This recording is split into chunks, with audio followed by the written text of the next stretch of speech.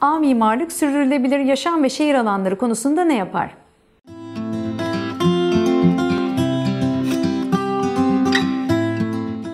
Şehirde dekorasyon çalışmalarımız içerisinde geri dönüşüm, ileri dönüşüm, e, döngüsel tasarım uygulamaları yapmaktayız.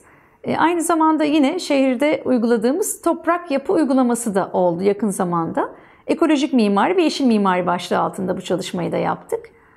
Kendi ofisimiz içerisinde de tüm organik atıklarımızı e, hem solucan kompostumuzla hem de bahçede geri dönüştürdüğümüz, toprak yaptığımız kompostumuzla uzun yıllardır kendi çöpümüzü toprağa dönüştürmekteyiz. Bunu da önemsiyoruz. Olabildiğince dışarıya, sisteme en az atığı vermeye çalışıyoruz. Mimarlık firması olarak kurumlara yapılacak olan çalışmalar içerisinde hem onların kendi atıklarını da sürece katarak ve onların kendi hikayelerini de sürece katarak aslında dönüşüm sağlayarak projeler üretip uygulamalar yapıyoruz.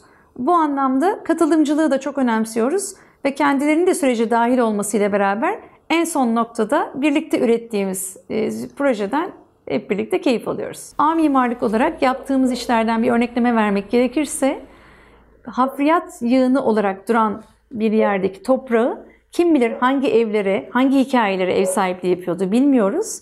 Şu anda yaptığımız toprak duvar uygulamasında çok yaratıcı bir ofisin ara duvar bölmesi olarak uygulamasını gerçekleştirdik. A mimarlık olarak 20 yıldır kuruluşumuzdan bu yana ofislerimiz ayağa toprağa basan, bahçesi olan geri dönüştürülmüş mekanlardır. İlk olarak 1998'deki çift havuzlardaki ofisimiz bir müştemilattı, kapıcı eviydi. Tamamen dönüştürdük. 750 metrekarelik bahçesiyle tüm üretimlerimizi, tasarımlarımızı keyifle yaptık. Sonra İdealtepe'de tekrar bahçesinde kömürlük kapıcı evi bir arada olan bir mekanı tamamen yıkıp dönüştürdük ve kentsel dönüşümden yıkılan ağaçları masa ayağı olarak kullandık. Ee, işte içerideki paletleri e, mobilya olarak kullandık. Araba lastiklerini bahçe mobilyalarına, mobilyalarına dönüştürdük.